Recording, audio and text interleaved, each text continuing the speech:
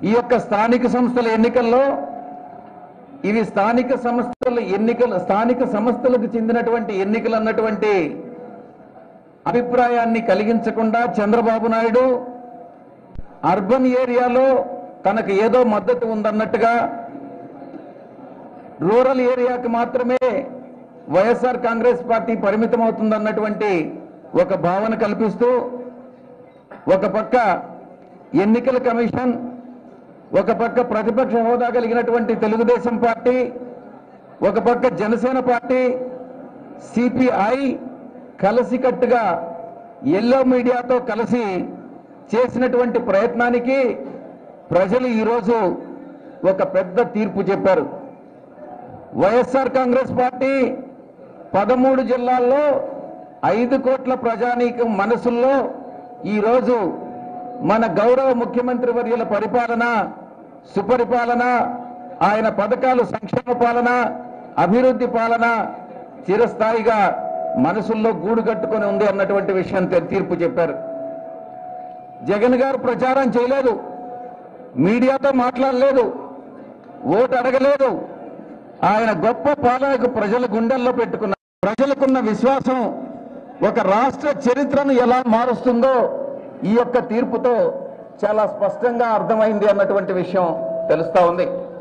దాదాపు రెండేళ్ళ పరిపాలన తర్వాత ప్రజలు సంతోషకరంగా మనస్ఫూర్తిగా ఇచ్చినటువంటి తీర్పు ఈ యొక్క స్థానిక సంస్థల ఎన్నికల తీర్పు. ఇది అభివృద్ధికి వేసినటువంటి ఓటు. వాగ్దానాల అమలుకు ప్రభుత్వం పనితీరుకు వేసినటువంటి ఓటు. జగన్ గారి పరిపాలన అర్బన్ ఓటర్ వేసినటువంటి ఓటు రూరల్ ఓటర్ ఓటర్ వేసినటువంటి ఓటు. ఇక మూడు రాజధానుల విషయానికి వస్తే ప్రత్యేకించి ఎగ్జిక్యూటివ్ క్యాపిటల్ని ఇవ్వడానికి ప్రత్యేకించి ఎగ్జిక్యూటివ్ క్యాపిటల్ ఇవ్వడానికి అనుకూలంగా మొత్తం రాష్ట్రంలో ఉన్నటువంటి మూడు ప్రాంతాల ప్రజలు రాయలసీమ ప్రజలు కానీ ఉత్తరాంధ్ర ప్రజలు కానీ అటు గోదావరి జిల్లా ప్రజలు కానీ ప్రతి ఒక్కరూ అమరావతి అమరావతిలో ఉన్న వాళ్ళు కానీ ప్రతి ఒక్కరూ ఈ యొక్క మూడు రాజధానుల సిద్ధాంతాన్ని ప్రతిపాదనని సమర్థిస్తున్నారన్నటువంటి విషయం చాలా స్పష్టంగా తెలుస్తా ఉంది.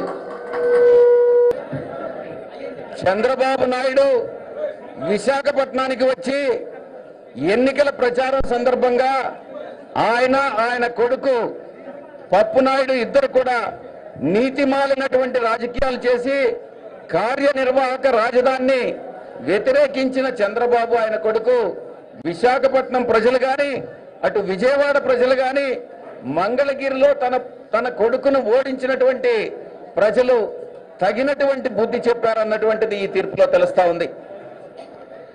కృష్ణా గుంటూరు జిల్లాలకు వెళ్ళి విశాఖపట్నం నుంచి ఆయన ఎన్నికల ప్రచారానికి కృష్ణా గుంటూరు జిల్లాకు వెళ్ళాడు. ఏం చెప్పాడనంటే మీకు రోషం లేదా? పౌరుషం లేదా అని రెచ్చగొట్టి గుంటూరు విజయవాడ ప్రజలని వాళ్ళ వాళ్ళ యొక్క వాళ్ళ రౌష రోషం పౌరుషం చంద్రబాబు వారి మీద చూపించారు.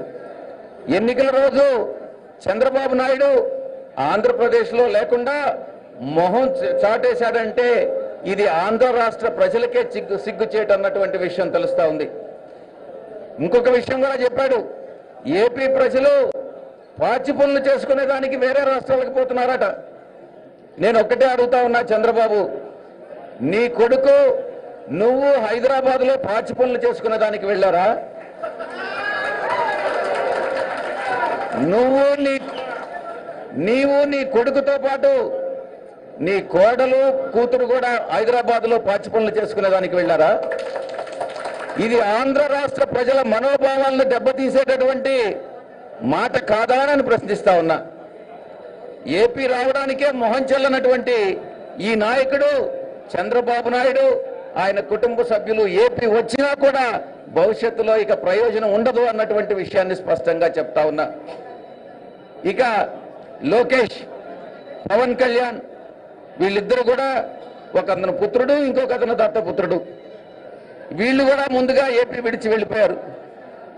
ఏపీలో ఏ రాజకీయ నాయకుడు ప్రతిపక్ష నాయకులు ఎవరు లేరు?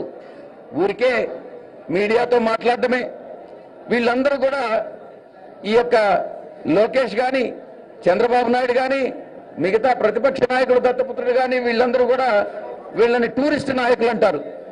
ఒక టూరిస్ట్ టూరిజం మీద ఆంధ్రప్రదేశ్కి వస్తారు అప్పుడప్పుడు.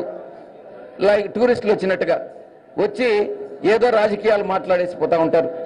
ఇకనైనా వీళ్ళందరికీ కూడా బుద్ధి వస్తుంది అని నేను ఆశిస్తా ఉన్నా.